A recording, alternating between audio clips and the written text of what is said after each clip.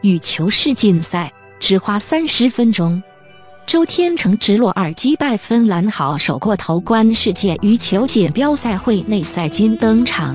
我国羽球一哥周天成首战碰上世界排名第八十三的芬兰选手海诺，只花了三十分钟就以两个二十一九轻松获胜，闯进三十二强。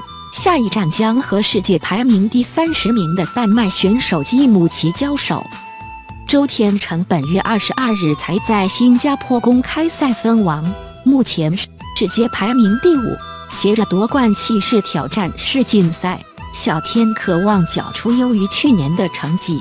去年世锦赛他在八强止步，竟碰上过去从未交手的海诺，周天成开局先连拿三分。一路领先，并以二十一九获胜。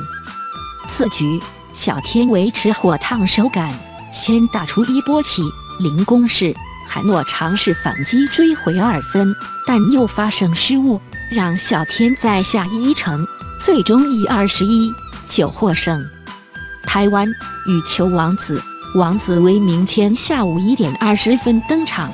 将碰上世界排名六十四的加拿大华裔球员何舒，而今年世锦赛男单不少国际名将先后退出，前大马球王李宗伟因呼吸道问题退赛，南韩一哥孙完虎也因为腿伤不打。